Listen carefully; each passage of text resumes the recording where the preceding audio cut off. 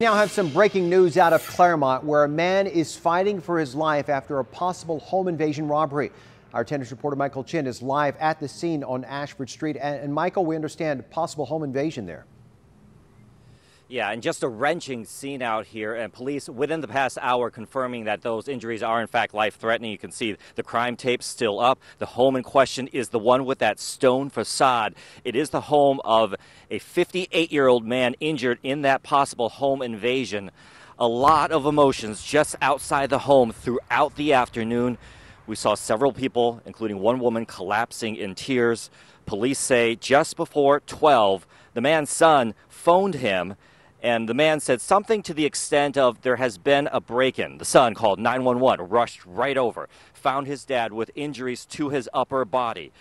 We talked to neighbor Jusun Jones, who talked to a next door neighbor and relayed what she heard and saw. She heard the loud noise. So she just came out of the garage looking at it.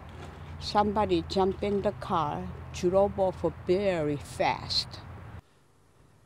Still no suspect description tonight. Police say there were no signs of forced entry, but a safe was taken. It's unclear again what those injuries right are, are right now, but again, that 58 year old man fighting for his life tonight. Police expect to be here all night. We're live in Clairemont. Michael Chen, 10 News.